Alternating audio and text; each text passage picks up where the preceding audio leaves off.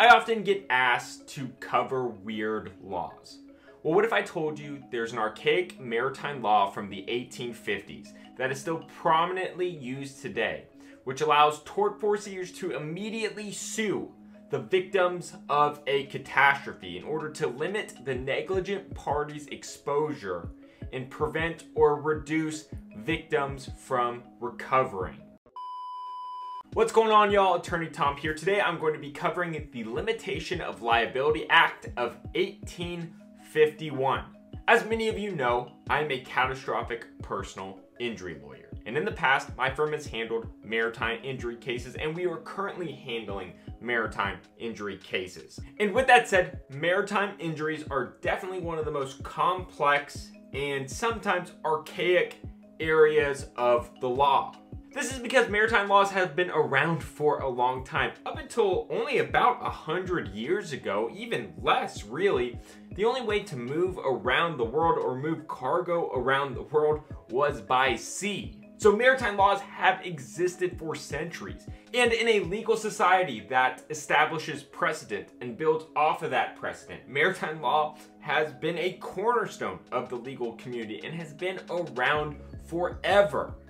And on top of that, legislation has been passed from the very, very beginning of the United States about this topic. So even today in 2021, we are still left with a lot of laws that are very, very old and they are still active and dominant in the society. Even though a lot of the laws are definitely outdated, it is still currently the law.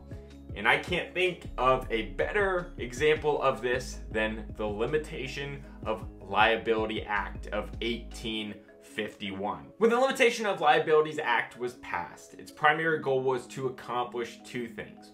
One, protect ship owners from financial ruin in the event of a catastrophe on their ship. Back then, it was actually very common to have incidents occur on the ocean. They didn't have weather predicting systems. There's no lines of communications. The technology wasn't that great. They still traveled in wooden ships. So as a result, you would often see ships sinking and a whole bunch of other incidents on a fairly regular basis. The other thing a Limitation of Liabilities Act did was protect workers because the conditions were so dangerous. Oftentimes, workers had to throw cargo on their ship overboard in order to save themselves and protect the ship. And this is because the Limitations of Liability Act essentially limits the ship holder's liability in the event of a catastrophe to the value of the ship plus the cargo. And the thought process behind this was back in the day, in the 1850s, when you could have a mom and pop shipping company.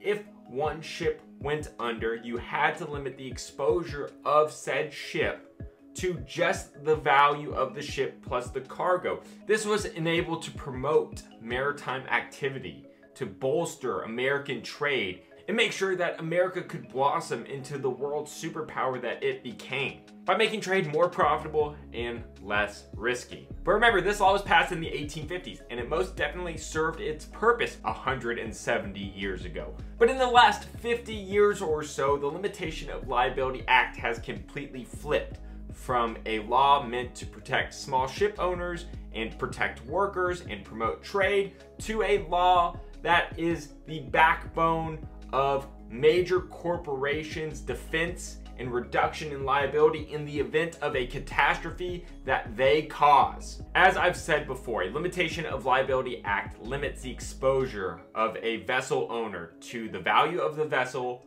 and the cargo on board. So essentially, it is in the vessel owner's best interest to assert that their cargo plus the vessel is as little as possible, as worth the least amount as possible. And that essentially caps the amount of recovery for the victims. while I would love to tell you guys about the specifics of our case, Kherkher Garcia just settled for $1.9 million because it did have a limitation of liability action, there was a confidentiality clause. So I am going to use an example where a limitation of liability was used in the real world that is made public. On October 1st, 2015, a cargo ship, the El Faro, carrying 33 people sunk off the coast.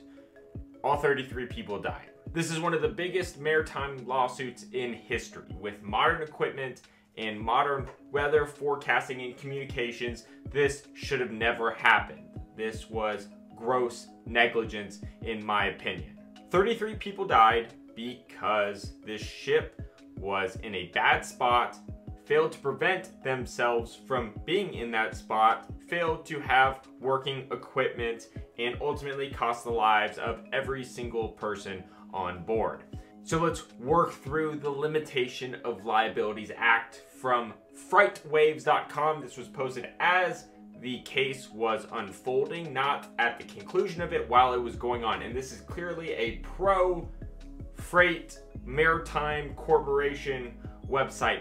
Let's dissect this article. The owners of Tote Maritime Puerto Rico container and roll on roll off cargo ship El Faro who sank in Hurricane Joaquin on October 1st, filed a request for exoneration or limitation of liability in the U.S. District Court of Florida on Friday. In the court filing, Tote and the sister companies, prior to the commencement of its last voyage and at all times, say they exercised due diligence, which is bullshit, to the supply of the ship, which suitable engines, machinery, apparel, appliances, personnel, and other appropriate and necessary equipment, all in good order and condition for suitable and intended operations, except for having your cargo ship go into a hurricane. They say the captain of the ship monitored Hurricane Joaquin and altered the course of the ship to account for the hurricane's expected track the filing seeks to take advantage of the Ship Owners Limitation of Liability Act of 1851, a law that was enacted to help U.S. ship owners compete with companies based in other countries such as Great Britain, and allows ship owners to seek exoneration from or limit their liability in the event of a maritime accident. One advantage of a limitation of liability proceeding is that the court sets a period of time for claims to be filed and orders a concursus of all claims that the forces of all claimants into a single proceeding in federal district court rather than making the company subject to litigation in multiple jurisdictions. Let me explain that to you. Do you know how they do this? They sue the victims. The only way to enact a limitation of liability act is to sue the victims of the incident. And essentially it flips the statute of limitations. Normally, when you are the victim of somebody else's negligence, there is a statute of limitations where you, the victim, can decide whether or not to bring a case. In most states, it's two years. Some have three, some have four, some have one, some have five, some have six. It just depends but the victim brings the suit. Here, in the wake of death, in the wake of a catastrophe, days after these incidents happen, companies file a limitation of liability lawsuit. They sue the victims and put them on the clock in order to rush into the litigation process, consolidate, and essentially reduce the total amount of potential financial compensation that is available. Let's keep going. According to the court filing, the value of the El Faro is zero, and the pending freight on board was worth $2.1 million. However, the law also creates supplemental limitation fund used for personal injury and death claims based on gross tonnage of a ship. The tote company says that amounts to $13.2 million and that combined $15.3 million is expected to be substantially less than the amount which will be claimed for losses and damages. Meaning, the amount demanded by the 33 victims and their families bringing wrongful death lawsuits will definitely exceed 15.3 million, but we're gonna cap all of their recovery cumulatively at $15.3 million. And I'm bad at math, but that's less than $500,000 for each family who literally had their loved one killed. But luckily, I know the lawyers who were involved in this case. They are a very respectable law firm based in Houston, like myself. And here is their press release about this case on their website. While Tote was insisting that their ship was only worth a small amount of money, thus limiting each family's potential compensation to a pittance, they filed an insurance claim with their insurer for the ship. The value they claimed in their own insurance filing was higher than the value they claimed under the Limitation of Liability Act. In essence, they were hoping to profit from the destruction of their own vessel and the loss of 33 lives. Do you see how crazy this is? And this is a case involving a cargo ship potentially worth tens of millions of dollars. And where's my eye patch? But that's not always the case. Let's give an example where there aren't potentially tens of millions of dollars in assets at play. And by the way, I wear this eye patch because I have a lazy eye, in case you haven't noticed.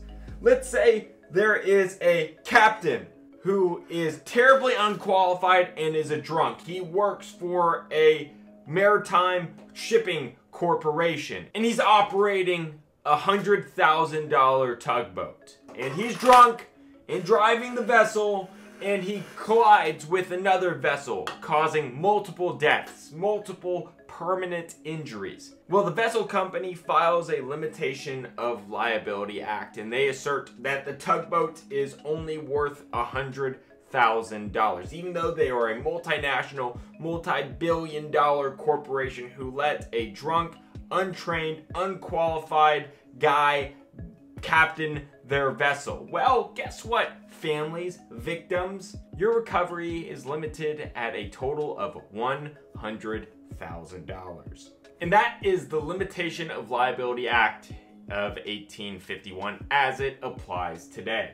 It is used all the time, immediately after catastrophes, by mega corporations to limit their liability. They affirmatively sue the victims of these incidents and put them on the clock. They have to file an answer to the limitation of liability very, very quickly. Or they risk having the limitation of liability run without any protest, without any counter arguments. The job of a lawyer like myself is to get involved in the limitation of liability and say, hey, tugboat company, your tugboat isn't worth $100,000, it's worth $250,000. And that still sucks. The law definitely shouldn't be that way because it's definitely archaic. But that is the current law and it's kind of one of those things where you have to hire a lawyer to make the best of a terrible situation. Anyway, I'm sorry for the little bit of the rant. I really do hope you found this interesting because it definitely is a weird law. I think it's an outdated law. Obviously, I am biased. I've just seen it play out in a very bad scenario one too many times, whether it be myself or just hearing stories from the community. But as of right now, the Limitation of Liability Act of 1851 is still very prominently used today. But I want to know your thoughts. What are your thoughts about it? Are there any other weird laws that you want me to cover? I am truly glad that you watched this video. I hope you found it interesting. Again, sorry for the rants. I just, I get passionate about these kind of things. Anyway, y'all, thank you so much for watching. Make sure you hit that like button and consider subscribing to this community. We just passed 336,000 subscribers, which is absolutely crazy. All right, talk to y'all later.